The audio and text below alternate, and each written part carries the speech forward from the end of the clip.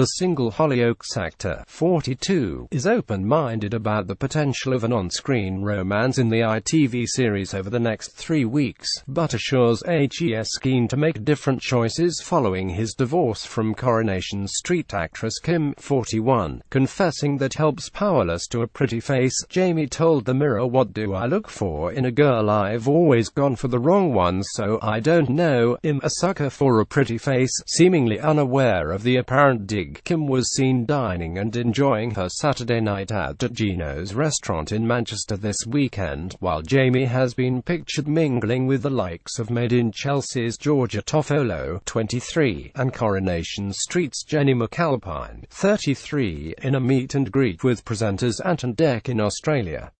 Infamous celeb Jamie Lomas appeared to make a backhanded swipe at his ex-wife Kym Marsh. Tim Merriam celeb Jamie was seen mingling with the other contestants ahead of the launch time. Merriam celeb the star looked subdued ahead of his first challenge for the show I'm a sucker for a pretty face Jamie Lomas following some celebratory bubbly. The stars headed off to face the first challenges before entering the jungle, with the group splitting up to perform a variety of tasks. Jamie joined Jennie, Amir Khan, 30, and Jack Maynard, 22, to perform a terrifying walk-the-plank maneuver off the top of a high-rise building over 300 feet high on the Gold Coast. While the celebrities were fitted into safety harnesses, it was a nerve-wracking test to see who could cope with the dizzying heights tense challenge. The other celebrities were carted off to perform skydives and search a creature-ridden wooden shipwreck for valuable items. Friday, November 17, 2017 I'm a Celebrity, Get Me Out of Here 2017 17 kicks off Tim Merriam as celeb Jamie was one of the celebs walking the plank over a high-rise building football manager Dennis Wise, 50, and comedian Shappi Khorsandi, 44, took part in the series' first leg-landing skydive, where they were then tasked with swimming towards a beacon. Boris Johnson's father Stanley, 77, and Jamie Vardy's wife Rebecca Vardy, 35, struggled with the first creepy crawlies of the season, as the latter admitted that discovering spiders would be her worst nightmare. I'm a Celebrity, Get Me Out of Here starts tonight at 9 p.m. on ITV.